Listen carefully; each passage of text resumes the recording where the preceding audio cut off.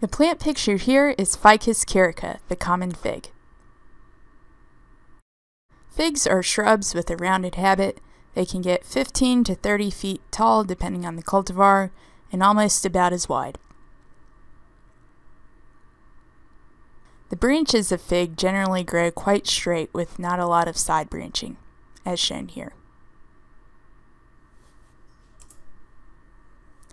Figs also produce a lot of suckers, and so while in some cases you may find figs with a few main trunks with more side branching occurring off of it, other times you may see, depending on how the fig has been pruned, simply a large cluster of suckers that have been allowed to grow as shown here.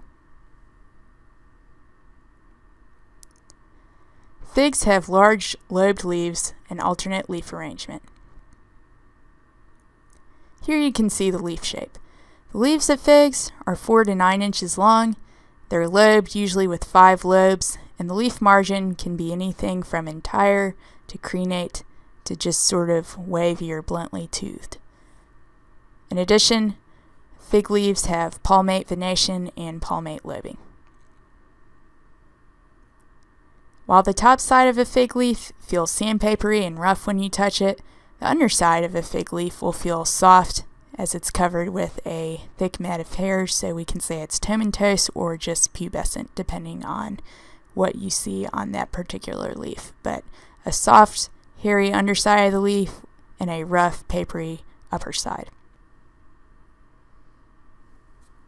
It's important also when dealing with figs to be careful if you break off a leaf or a piece of the stem, it will immediately exude a lot of white milky sap, and that sap is a skin irritant and certainly something you don't want to get in your eyes or mouth.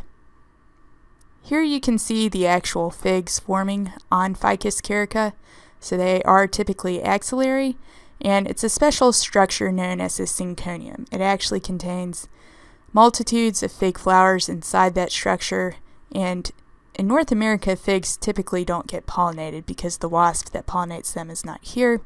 However, they're capable of producing the fig fruits without pollination, and that is called parthenocarpy. Figs are 2 to 4 inches long, and they have an onion or teardrop shape.